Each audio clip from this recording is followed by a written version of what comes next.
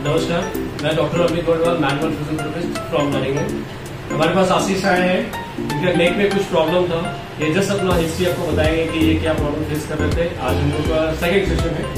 ये आज ट्रीटमेंट के बाद इनको कैसा फील हो रहा है, ये अपना फीडबैक देंगे। आप बताइए। मेरा प्रॉब्लम था ये दस दिन से करीब। हल्का हल्का दर्द था। तो उसमें मतलब अचानक उठे तो नेक में लॉक हो गया। उसके बाद फिर इधर सर के पास आए उनके बाद मैं दो सेशन था आज। आज उसके बाद फिर मैं पूरा जो दर्द था वो पूरा फ्री हो गया। अभी कैसा फील कर रहे अभी बेटर फील कर नेक मूवमेंट नॉर्मल है? हाँ अभी मूवमेंट नॉर्मल अभी पेन कैसा है आपका? पेन एकदम पता ही नहीं। अभी पता नहीं चल रहा है। तो ये इनका फीडबैक था। Thank you Ashish thank you